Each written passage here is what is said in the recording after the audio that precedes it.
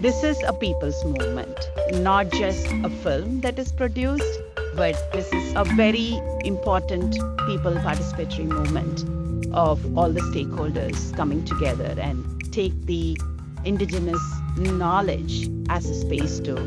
share and to go forward and to become responsible ancestors. So I want you all to participate in this, you know, by means, by time, by contribution, by talent, and by moral support.